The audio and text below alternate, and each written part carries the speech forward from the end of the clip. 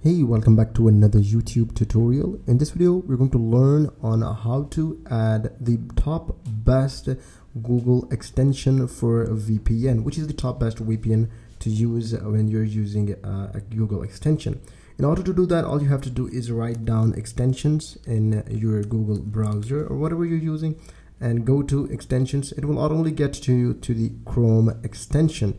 And in here in the search the store you have to write down the vpn so that vpn would uh, you know there will be multiple vpns but we are going to use this one. This is called ZenMate free vpn this is the top best vpn you could use and it's very secure and i personally use it so go and add to Chrome. There are a lot of people downloaded this one and there's a great rating for it as well. So go to and add to Chrome. And as you add to Chrome, it will ask for your permission, add to extension, and it will process for some time. And finally, it will be added on the upper right corner as an extension. So when you receive, when you see this one, all you have to do is close it. You don't have to pay for it because you have we are using the free version. So go back in order to see the extension, you got to click on this one. This is uh, multiple extensions are added there. You can click on the pin the ZenMate extension so it will appear on upper side. Click on it and as you click on it, it will load for some time and boom, you're gonna click select the country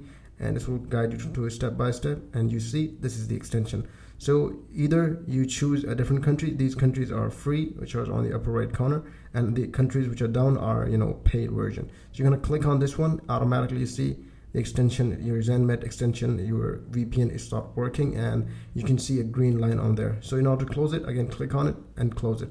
So this is a very easy way in order to, you know, uh, download and add this extension and this is a very great VPN.